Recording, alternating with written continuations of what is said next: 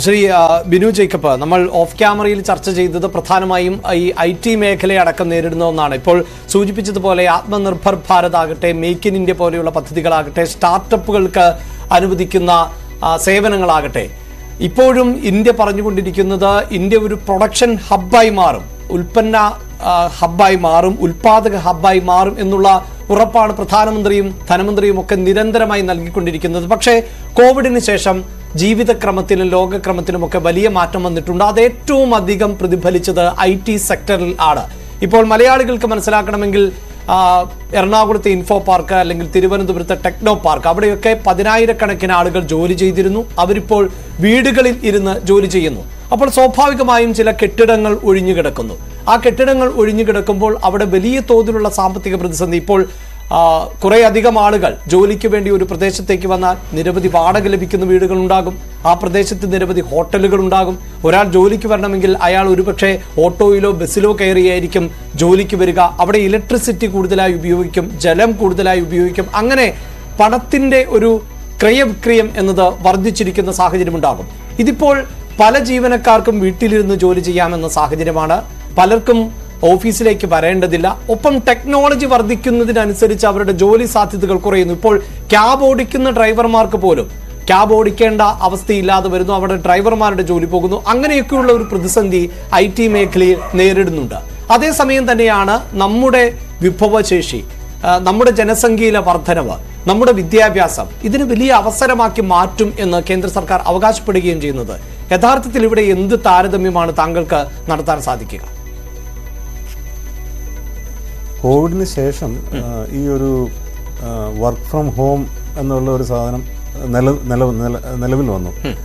പക്ഷെ ഇപ്പം ഗ്രാജുവലായിട്ട് ഒരു ചേഞ്ച് കാണുന്നുണ്ട്. ഇപ്പം പണ്ട് അഞ്ച് ശതമാനം പേര് വന്നുകൊണ്ടിരുന്നിടത്ത് ഇപ്പം ഏകദേശം അമ്പത് ശതമാനത്തോളം ആൾക്കാർ ഓഫീസുകളിൽ എത്താൻ തുടങ്ങി.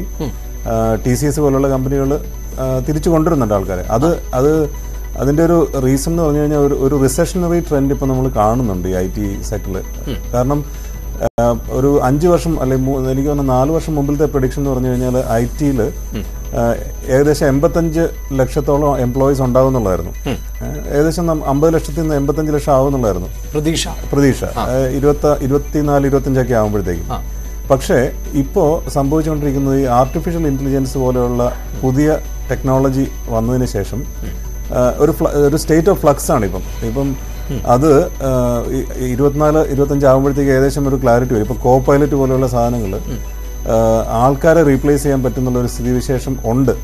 അതിപ്പോഴും വളരെ ക്ലിയർ ആയിട്ട് പറയാറായിട്ടില്ല എന്തുമാത്രം. കാരണം ഇപ്പോൾ ടി സി എസ് ഇൻഫോസിസ് പോലെയുള്ള ആൾക്കാരൊക്കെ ഇപ്പോഴും പറയുന്നത് ഒരു ഡീഗ്രോത്ത് ഉണ്ടാവത്തില്ല വീണ്ടും ഹയറിംഗ് സ്ട്രോങ് ആവും എന്നുള്ളതാണ്. അതായത് ഞാനൊരു ചെറിയ ഉദാഹരണം പറയുന്നത്. ഇപ്പോൾ രാജീവ് ഗാന്ധിയുടെ കാലഘട്ടത്തിലാണല്ലോ നമ്മൾ ഒരു ഐ ടി വിപ്ലവത്തിലേക്കൊക്കെ കടന്നത്. അന്ന് ചില നിരീക്ഷണങ്ങളുണ്ടായിരുന്നു. അതായത് മനുഷ്യൻ ചെയ്യേണ്ട പല പ്രവൃത്തികളും കമ്പ്യൂട്ടർ ചെയ്യുകയാണ്. അപ്പോൾ ഇരുപതോ മുപ്പതോ ആളുകൾ ഇരുന്ന് ചെയ്യേണ്ട ഒരു തൊഴിൽ ഒരു സിസ്റ്റം ഒരു കമ്പ്യൂട്ടർ ചെയ്യുന്നു എന്ന് പറയുമ്പോൾ അത് രാജ്യത്തെ പ്രതികൂലമായി ബാധിക്കുമെന്ന ഒരു നിരീക്ഷണം ഒരു ഭാഗത്തുണ്ടായിരുന്നു. മറുഭാഗത്താകട്ടെ ഈ കമ്പ്യൂട്ടറുകൾ അല്ലെങ്കിൽ ഐ ടി മേഖല വികസിക്കുന്നതോടുകൂടി വലിയ തൊഴിലവസരം സൃഷ്ടിക്കും എന്നുള്ളതുണ്ട്. ഏതാണ്ട് സമാനമായ തരത്തിൽ തന്നെയാണോ ഇപ്പോൾ ഈ ആർട്ടിഫിഷ്യൽ ഇന്റലിജൻസ് അത് ആളുകളുടെ തൊഴിൽ സാധ്യത ഇല്ലാതാക്കുമെന്നാണോ?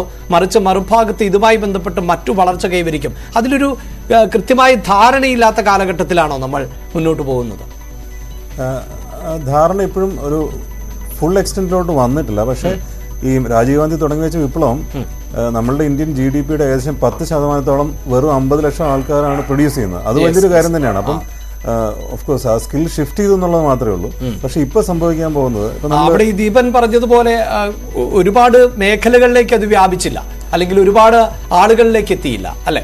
അത് അത് അതിന്റെ റീസൺ എന്ന് വെച്ചാൽ സ്കില്ലാണ് സ്കിൽ ആ ഒരു ലെവലിലോട്ട് വരണം പക്ഷേ ഇപ്പോൾ ഈ ആർട്ടിഫിഷ്യൽ ഇന്റലിജൻസ് വരുമ്പോഴത്തേക്കും നമ്മളൊരു റെഗുലർ മാനുഫാക്ചറിങ് സെക്ടറിൽ കാണുന്ന പോലെയുള്ള ഒരു കൺവെയർ ബെൽറ്റ് മോഡലിലോട്ട് വരാനുള്ള ഒരു സാധ്യത ഐ ടിയിൽ ഇപ്പം കാണുന്നുണ്ട്. അത് വളരെ ഒരു ക്ലാരിറ്റി വരണമെങ്കിൽ മേ ബി ഒരു വർഷം രണ്ട് വർഷമൊക്കെ എടുക്കുമായിരിക്കും.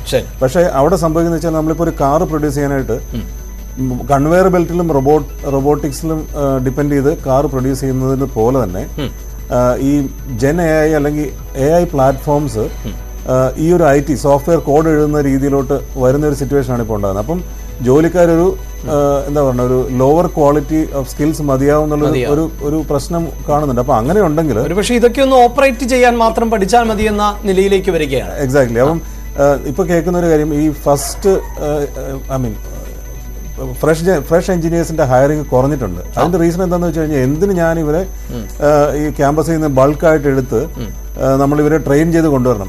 ഇപ്പോൾ സാറ് പറയുന്നവന് കുറഞ്ഞിട്ടുണ്ട് എന്നല്ല കേരളത്തിലെ എഞ്ചിനീയറിംഗ് കോളേജുകളിൽ വലിയൊരു ശതമാനവും അടച്ചു പൂട്ടിക്കഴിഞ്ഞു. ആ. ആ, അപ്പൊ അത് അത് അത് അതിന്റെ കാരണം എന്ന് വെച്ച് കഴിഞ്ഞാൽ ഈ ആൾക്കാരെ കുറയ്ക്കുന്നതിന് പകരമായിട്ട് എക്സ്പീരിയൻസ് ഉള്ള ആൾക്കാരെ ഈ ഈ സിസ്റ്റം ജനയായി പോലെയുള്ള സാധനങ്ങളോട് റീട്രെയിൻ ചെയ്ത് നിർത്തിയാൽ മതി. കണ്ടവന ആൾക്കാരെ പഠിപ്പിച്ച് കമ്പനികൾ ഇൻവെസ്റ്റ് ചെയ്ത് ചെയ്യേണ്ടെന്നുള്ളൊരു ചിന്ത അറ്റ്ലീസ്റ്റ് ചില ചില കമ്പനികളിലെങ്കിലും ഉണ്ട്. വലിയ കമ്പനികളിലേക്ക് അത് വരണമെങ്കിൽ ഈ പറഞ്ഞ ഒരു ഒരു വർഷം രണ്ട് വർഷത്തെ ഇതിന്റെ ക്ലാരിറ്റി എമർജ് ചെയ്ത് കഴിയുമ്പോൾ മാത്രമേ പറയാൻ പറ്റുള്ളൂ. പക്ഷേ നമ്മൾ ചെയ്യേണ്ടത് എന്താണെന്ന് എനിക്ക് തോന്നുന്നത് ഈ പണ്ട് എസ് സി സെഡ് പോലെയുള്ള ഫ്രീ ബീസ് ബജറ്റുകൾ പ്രഖ്യാപിച്ചത് ഇനി ചിലപ്പോൾ തുടരേണ്ടി വരും. കാരണം ജി സി സി അതായത് ഈ ഗ്ലോബൽ കോമ്പറ്റൻസി സെന്റേഴ്സ് കാരണം ഏകദേശം രണ്ട് ലക്ഷം രണ്ട് ലക്ഷം ഇരുപത് ലക്ഷത്തോളം ആൾക്കാരെ എംപ്ലോയ് ചെയ്യുന്ന ജി സി സിസ് ആണ്. ഇപ്പോൾ വലിയ മൈക്രോസോഫ്റ്റ് അല്ലെങ്കിൽ എസ് എ പി പോലെയുള്ള വലിയ കമ്പനികളുടെ ഇന്ത്യയിലെ സെന്ററുകളാണ് അപ്പോൾ അവിടെ ഫ്രീ ബീസ് കൊടുക്കുകയാണെങ്കിൽ ഈ ജനൈ തന്നെ ആയിരിക്കും ചിലപ്പോൾ ചെയ്യേണ്ടി വരിക. പക്ഷെ അവിടെ എംപ്ലോയ്മെന്റ് കൂട്ടണമെങ്കിൽ ഇവർക്ക് ടാക്സ് ഹോളിഡേസോ അങ്ങനെയൊക്കെ പ്രഖ്യാപിച്ച് അവിടെ എംപ്ലോയ്മെന്റ് ജനറേറ്റ് ചെയ്യാനായിട്ടുള്ള ഒരു ഇമ്പറ്റസ് ഉണ്ടാവണം. അങ്ങനെയാണെങ്കിൽ മാത്രമേ ഈ ഒരു ഗ്രോത്ത് സസ്റ്റെയിൻ ചെയ്യാമെങ്കിലും ചെയ്യാൻ പറ്റുള്ളൂ. ഇപ്പോൾ ടെൻ പെർസെന്റ് എന്നുള്ളത് സസ്റ്റെയിൻ ചെയ്യുക അല്ലെങ്കിൽ അത് അതിന്റെ ഗ്രോത്ത് കൊണ്ടുവരണമെങ്കിൽ അങ്ങനെയുള്ള ഇൻവെസ്റ്റ്മെന്റ്സ് ഈ ബജറ്റിൽ ഗവൺമെന്റ് ആലോചിക്കേണ്ടിയിരിക്കുന്നു.